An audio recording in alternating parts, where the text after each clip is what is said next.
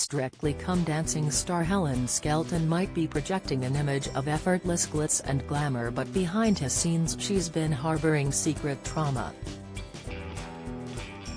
Not only did the former Blue Peter favorite endure the breakup of her family recently when ex-husband Richie Myler left the family home, but two of her cousins died, leaving her devastated.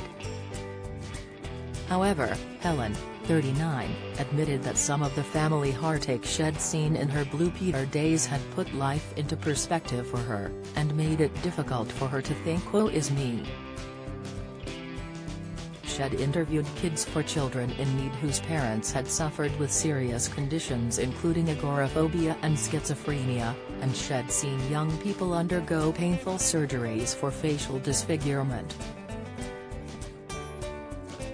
However, the Strictly Come Dancing fave has endured heartbreak of her own, after losing two cousins, one to breast cancer and one to a tragic accident. I'm a family person, I had that kind of childhood where I spent summer holidays with all my cousins, and it's ST, there's no two ways about it, she lamented. She also admitted that she found it hard to open up about her bereavement struggles, due to the reliance her family has on a stoic attitude. My family are that sort of Cumbrian stoic, stiff upper lip, and if I sat here and talked about it they wouldn't like it, she continued in an interview for The Telegraph. Yet she felt so strongly about her losses that she even chose her baby's middle name, Kate, as a tribute to one of the cousins, who died in her mid-twenties. She revealed that baby Elsie, her third child with ex-Richie Myler and her only daughter, was always going to receive the moniker in a tribute to the late relative she had loved so much. I was really close to her, she was a scientist and crazy cool, she told Hello! magazine after Elsie's December 2021 death.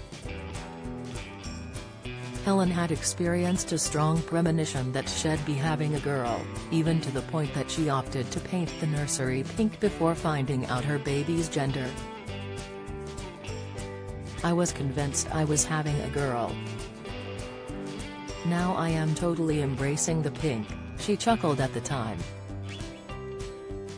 With a rugby player and two feral boys, my world is testosterone-filled enough. Meanwhile, Helen addressed her bereavements further in a heartfelt interview with the Belfast Telegraph. Losing two cousins who were really close to me altered my perspective on life massively, she admitted. One didn't even get to the age I am, and nowadays I'm just grateful for every extra year I chalk up on Earth, and enjoy life as much as possible. She explained the trauma means she's less inclined to sweat the small stuff and she tries not to care what others think of her. When trolls criticize her wardrobe, she has a tendency to let the insults go and focus instead on more important aspects of life.